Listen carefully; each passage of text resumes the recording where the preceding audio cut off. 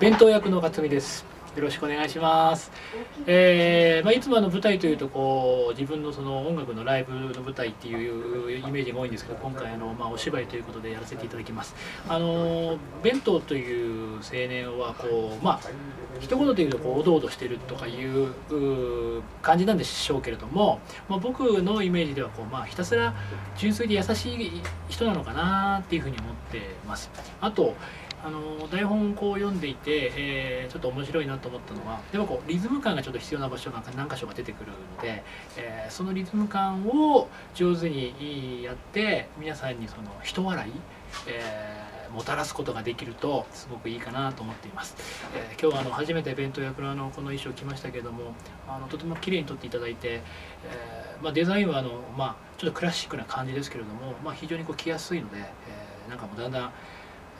カツミではなく弁当に、えー近づいてきた気がしますが本番の時にはもうまさしく弁当で頑張りたいと思います。是非見に来てください。よろしくお願いします。